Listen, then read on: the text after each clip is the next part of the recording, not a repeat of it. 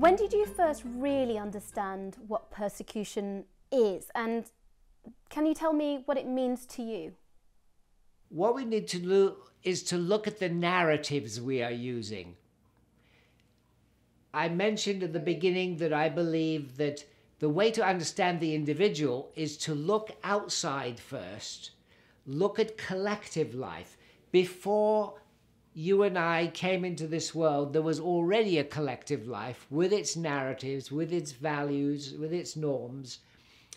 We came into this world, and that collective life will continue after we leave.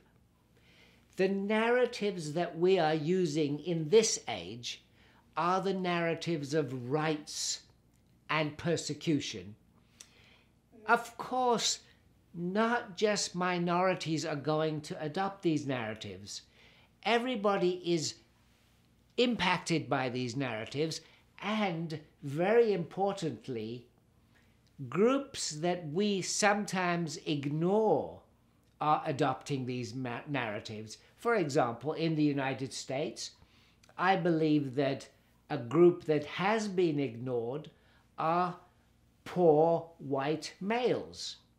And if you look back over the last 20 years, you have this surge, uh, a movement from poor white males adopting the narrative of rights and persecution.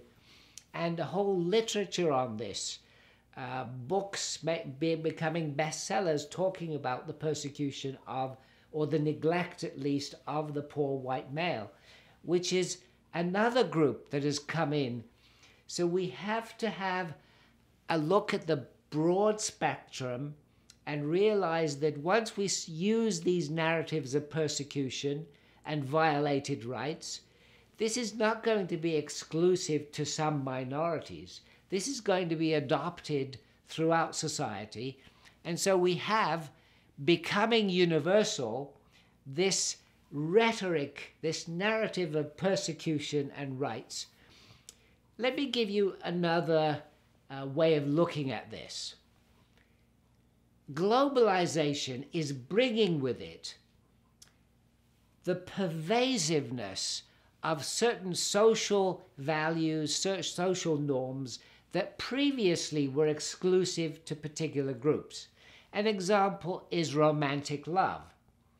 Romantic love is something that is becoming globalized.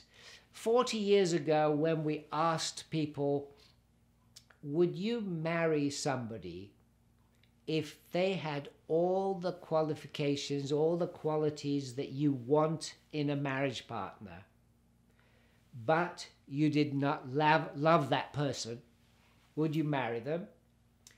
40 years ago, most men said no, most women said yes.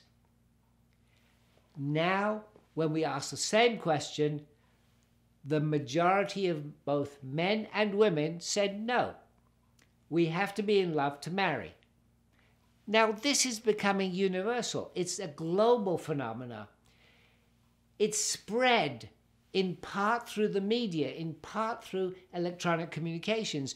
So the idea that I have to be in love in order to marry has become normative. It's become what everybody has to do. Similarly, with rights and persecution, this has become something that is ordinary for people around the world, something that the narrative is dominant of rights and persecution.